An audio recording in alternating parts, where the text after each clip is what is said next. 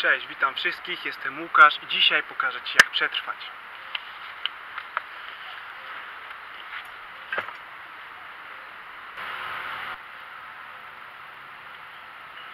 Jestem teraz w Poznaniu nad Wartą, w Lesie Dębińskim i zachęcam ludzi z Poznania i okolic, żeby odwiedzać ten zakątek co jakiś czas, bo to jest fajne, ciekawe miejsce, gdzie odetchniesz świeżym powietrzem, a to jest praktycznie w środku miasta. Opis do tego miejsca znajdziesz w linku, który tam w opisie będzie się znajdował. No i co? Bierz rower albo bierz buty do biegania i widzimy się tutaj. No ale do rzeczy. Ten krótki filmik nagrywam z myślą taką, żeby Ci pokazać jak stworzyć prowizoryczny kompas za pomocą igły. Może znajdziesz się kiedyś w sytuacji survivalowej, zgubisz drogę czy cokolwiek. Nie wiem, może tak, może nie. No ale myślę, że nie zaszkodzi wiedzieć jak się robi taki kompas. Będziemy go robić na wodzie, to znaczy w pudełku, dlatego nabiorę sobie teraz wody i za chwilę pokażę Ci jak to się robi.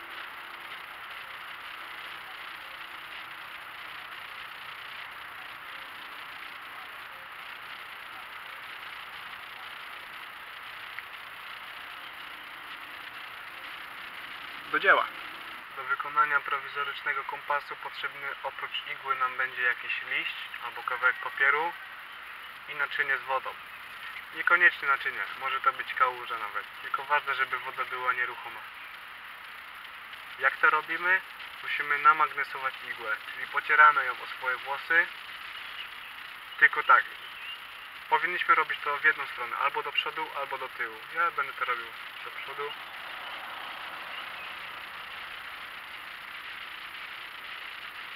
W międzyczasie położyliście na wodę.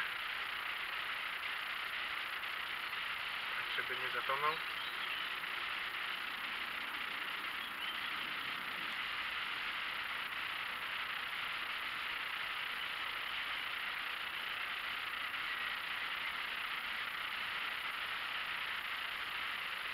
I kładę igłę na liściu.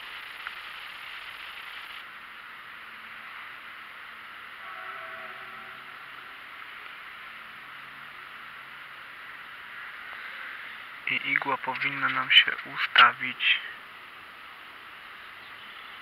w linii północ-południe.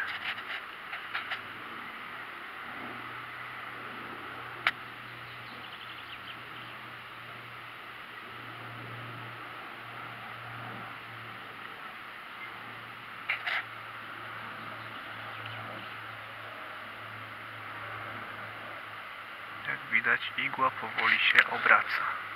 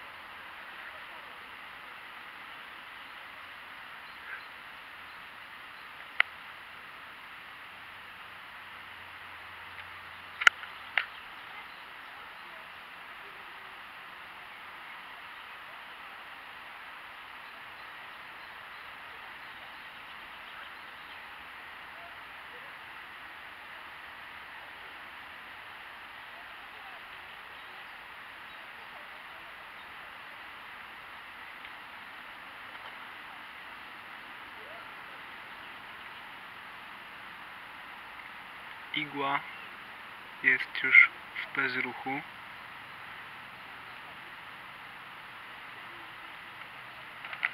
Zrobimy przedłużenie tej linii. Narysuję na piasku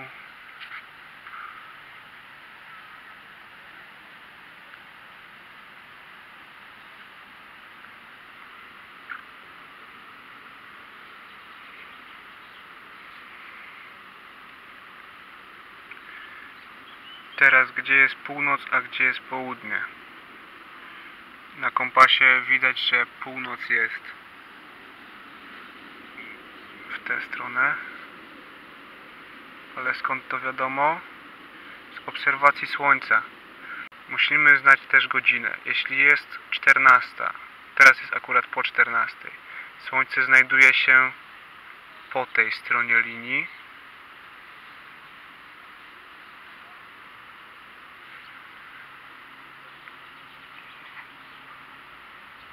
Więc tutaj jest już zachód. Bo słońce zachodzi, jest już po 12, po południu. Natomiast jeśli by było rano, przed południem, słońce by było z tej strony i wskazywało nam by na to, że tutaj jest wschód. Czyli tutaj jest nadal północ.